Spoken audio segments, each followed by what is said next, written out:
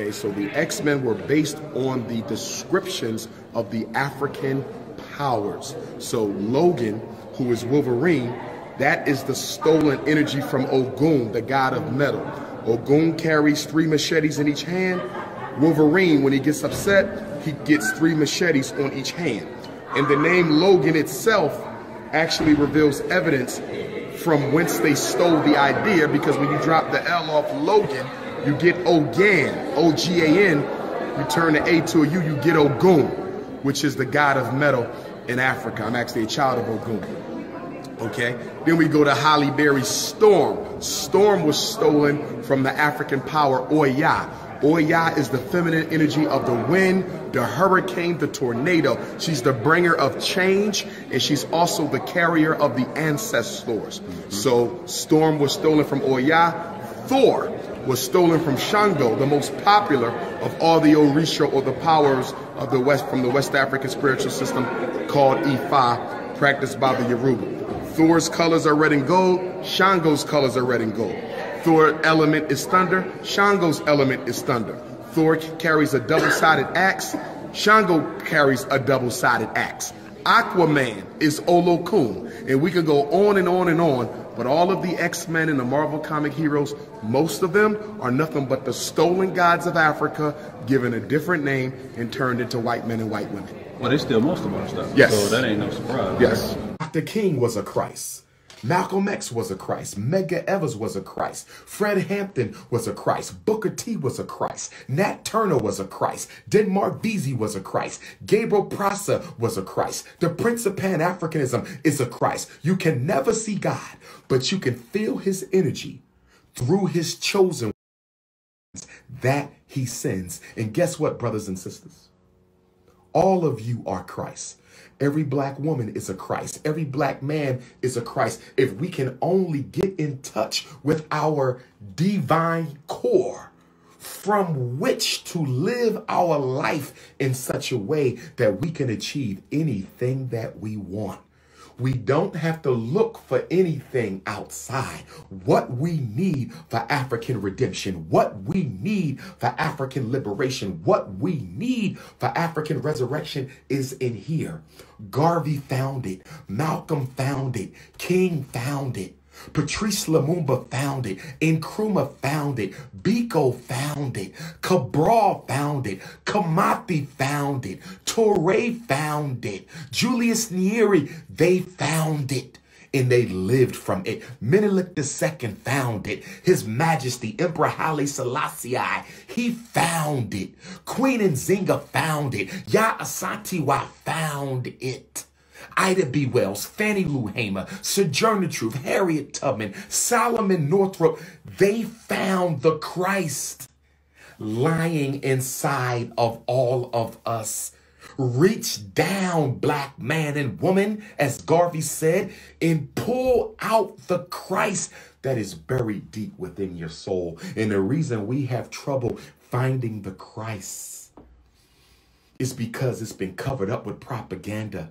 It's been covered up with religious doctrine. It's been covered up with media socialization. It's been covered up with public school miseducation. You have to pull it away, pull off all the silt and all the rubbish and all the soil that covers up your Christ energy.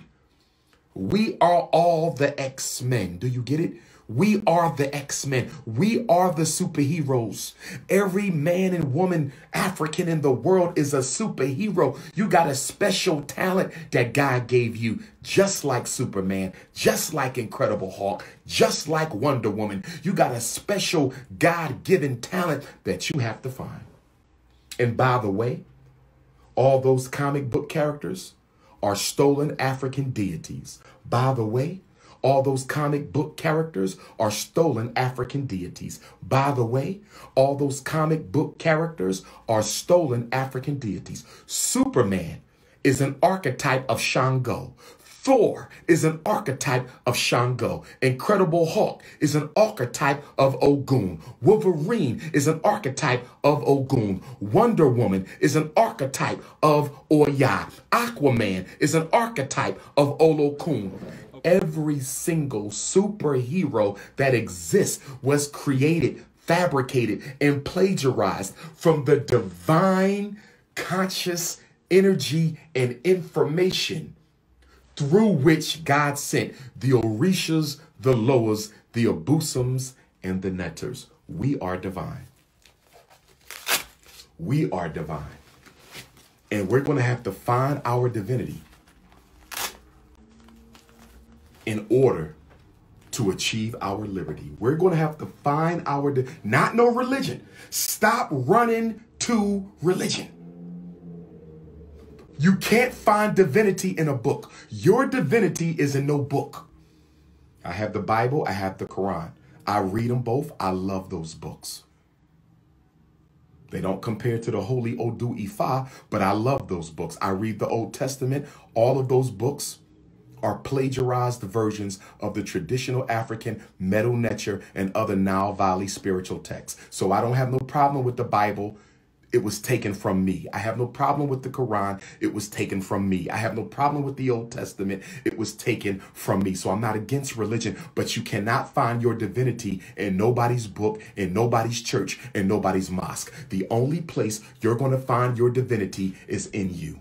The only place you're going to find your divinity is in you. No priest can give it to you. No preacher can give it to you. No bishop, no saint, no imam. The only place you're going to find God the only place you're going to find your own personal connection to the Most High consciousness that runs this world is in you. You can go to church. That's where you fellowship with people looking for God. You can go to the mosque. That's where you fellowship with people looking for God. But the most holy place, the most sacred place in all of humanity, the most sacred place in this universe, and only there only there will you find your creator waiting to meet you. And that is right here in the heart of heart and in the soul of souls, brothers and sisters. That is right here in the heart of heart and soul of souls. And that's why Jesus started in the temple, but he had to get out. Muhammad started in the temples, but he had to get out. Buddha started in the temples, he had to get out. Krishna started in the temples, he had to get out. Religion is a bridge it is not a home. Religion is a bridge. It is not a home. Religion will take you from point A to point B. It cannot take you to divinity. Only you can take yourself there. Only you can take yourself there. God's chosen people. The biggest lie told is that religions were chosen. God didn't choose the Muslims. God didn't choose the Christians. God didn't choose the Hebrews. God's chosen people are African people. The firstborn of God is the African. The firstborn of God is the African. The Bible says, Blessed be the firstborn. If blessed be the firstborn, the African man and woman are the firstborn of the Creator. We are the chosen ones. That's why nobody likes us. That's why nobody likes you. Not the Arab, not the Indian, not the Chinaman, not the Anglo-Saxon, not the Jew, not the Mexican. Nobody likes you. Everyone's jealous of you because you are the chosen ones. Stand up and claim it.